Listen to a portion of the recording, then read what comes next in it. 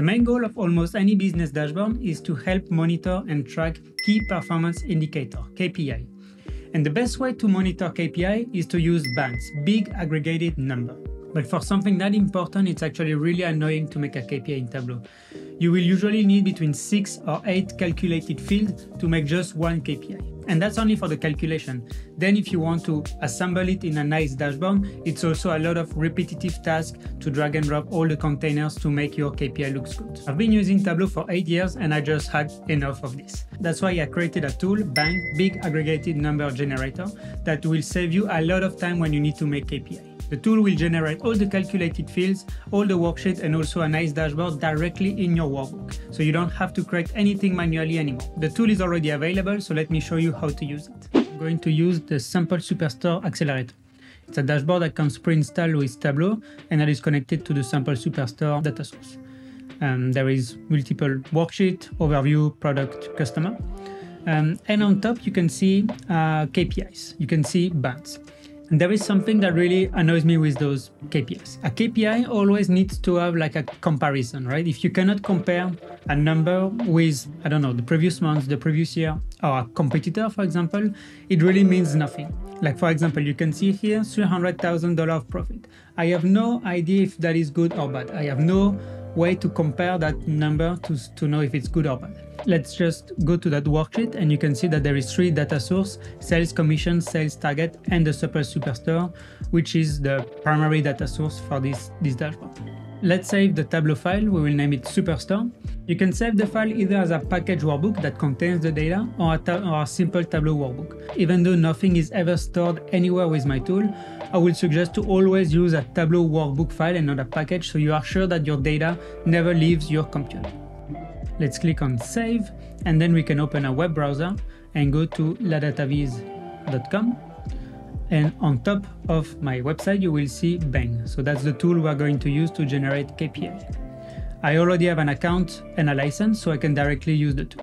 Okay, this is really important and a question that I receive all the time. When you input a file in any of my tools, this one or the advanced visualization generator, your data, your file are never uploaded anywhere. Everything happens only in the browser. And you can test it really easily. Once the page is open, you can simply turn off your Wi-Fi, go completely offline, and you will still be able to input new file and use the tool. It's really the same as if you drag and drop an image on your browser. The browser will show the image because the browser is capable of reading that image that is in your computer, but the image is never uploaded anywhere online. Everything stays between you and your computer. Nothing is ever uploaded anywhere online. We are going to select a Tableau file and take our superstore.twb. The first thing I can do is um, just change the width of my dashboard. So here we will say 1500 pixel and then select the data source. So you can see that the tool detected the three different data sources and we are going to use sample superstore. The second option is to have a dynamic date selection. Selecting this will automatically create and add a parameter in your dashboard and that will allow you to choose the date on which you want to analyze your KPI. You can create that parameter based on either the year, month, quarter, or week, and also select the date uh, that is used for the parameter. So in that case, order date, but it could also be ship date, for example. Now let's start to create our KPI. Every white rectangle in the tool will become a BAN, will become a big aggregating number that are KPI. So you can, for example, select the measure that you want to analyze. In our case, we will start by sales. Then you can configure the aggregation and select between a sum, an average, mean, max, median, or count. In our case, we are going to analyze the sum of sales. Then you can specify if you want to analyze it by month, by year, by quarter, week, or day.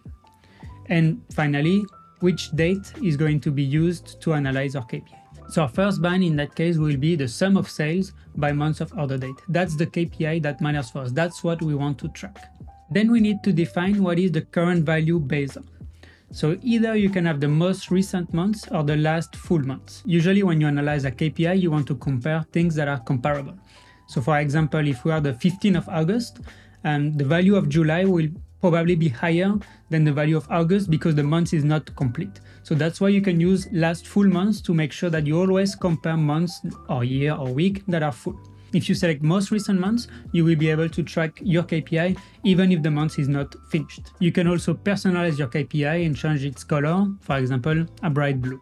Now we need to specify what do we want to compare KPI with. And like I told you before, it's really important to compare KPI, to have something to compare your value with. Here you have four options. You have last year, last year month to date, previous months or previous months to date. Depending on the industry, comparing with the previous months is not usually possible, uh, especially if they are like holidays, for example. So I give you the choice to compare with last year or the previous months. And then the two options that are like months to date are there because we selected most recent months. Like I explained before, the sum of sales of half a month is not comparable with the sales of a full month, right?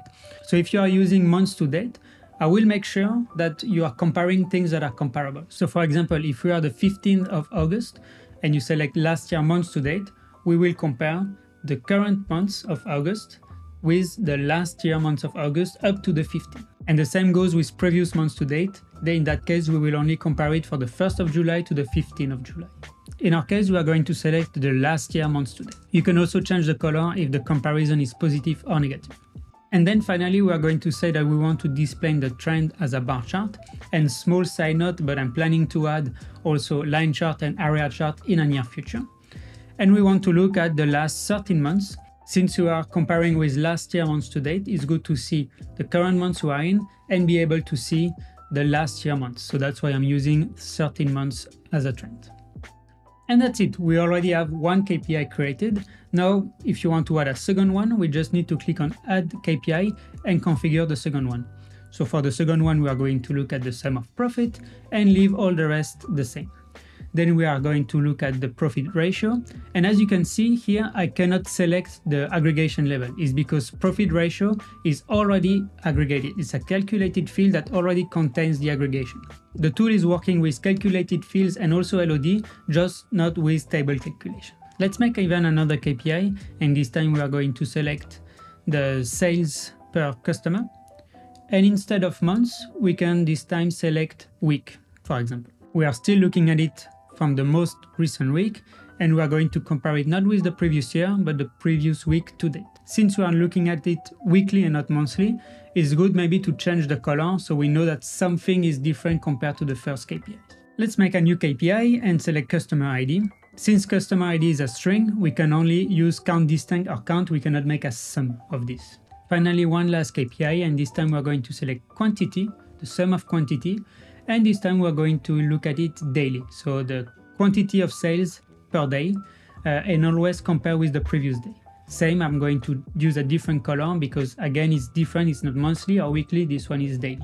And we are looking at the trend of the last seven days.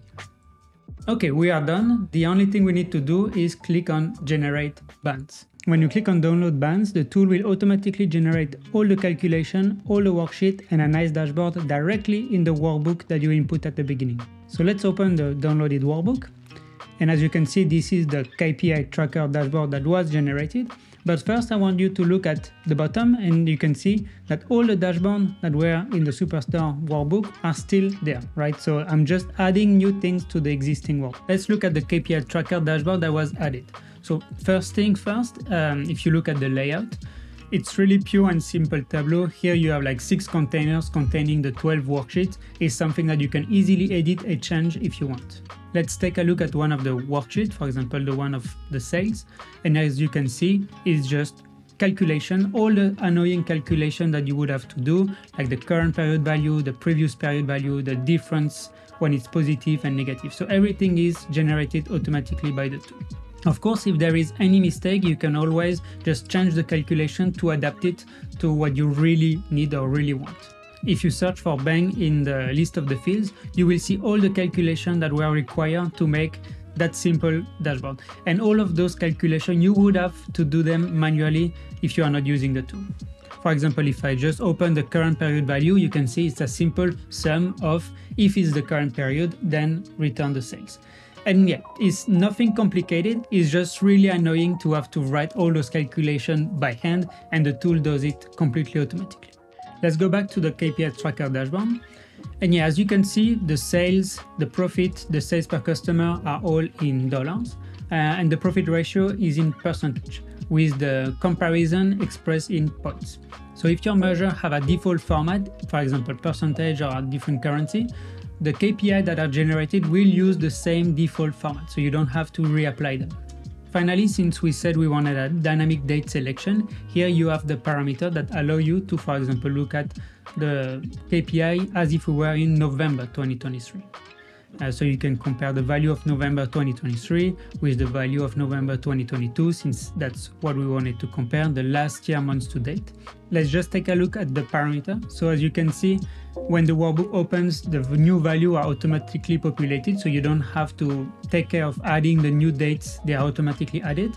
And when the workbook opens, you always automatically have the maximum date, so the most recent date um, automatically selected. So you don't have to do anything, everything is already configured. And I don't know you, but if we go back to the overview dashboard, I think our KPI dashboard looks much better than the one that Tableau created. I hope you find it useful and that you will be able to save a lot of time just like me. You can try the tool for free for one week and then either make a monthly subscription or make a single payment and use the tool forever.